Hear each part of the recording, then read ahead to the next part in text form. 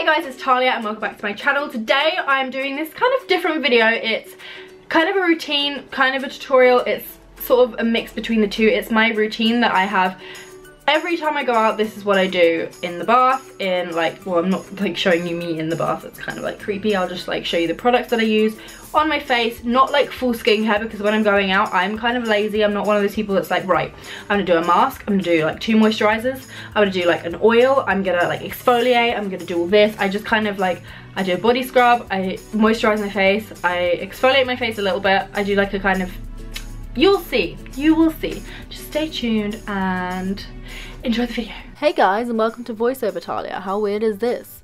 You're just listening to my voice. But the first thing I'm just to do is just take my hair down and then basically put it back up for no apparent reason. Well, it's just to get it out of my face while I wash my hair because otherwise it's just really irritating.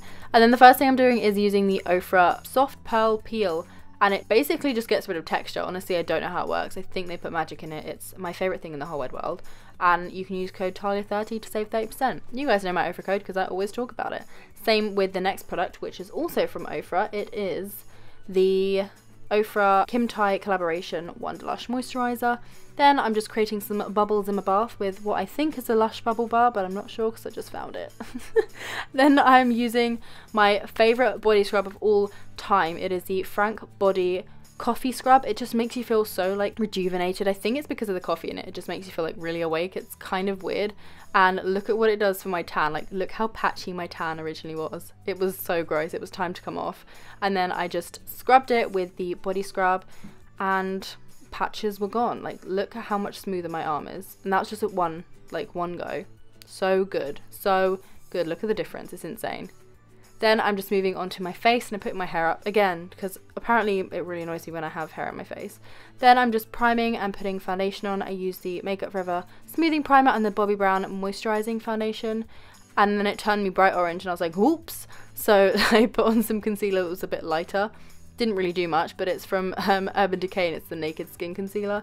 That you can see I'm still pretty orange, but it kind of matches my neck because my neck was still orange from the fake tan. So I was like, that's fine. And then I just set it with the Laura Mercier powder and contoured with the Film Star Bronze and Glow from Charlotte Tilbury. I still love this contour. I kind of forgot about it for a while, but it's one of my all-time faves.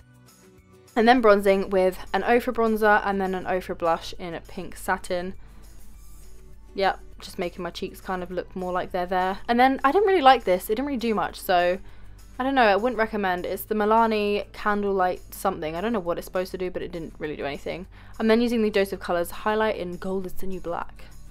And I just did my brows off camera because you guys know how much I suck at doing my brows on camera. But I used the Dip Brow from Anastasia. And then I'm using the Anastasia Modern Renaissance palette. And I'm just making my eyes look a little bit more like brown and orange. Because apparently that's a thing people do when they go out. So I was like, yeah, I'll do that. That looks, that looks alright. And then deepening my outer corner to do something to my eye. I don't know what it does, but I think it makes it look bigger or something. I read it somewhere.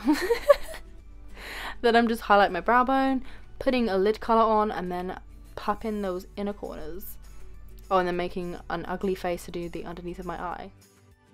Spraying my face with some Urban Decay setting spray, and then putting some mascara on before the Flirt Lashes from Danny Beauty. And then I'm just putting on some lipstick from Anastasia. I think the shade is Milkshake, but I could be completely wrong. I'll put it in the description box. I feel like that's pretty much everything. You saw my makeup, you saw how I sort of prep my body and all of that jazz for a night out. I'd probably just whack on some jeans and a fancy top so I feel like I'm putting in effort.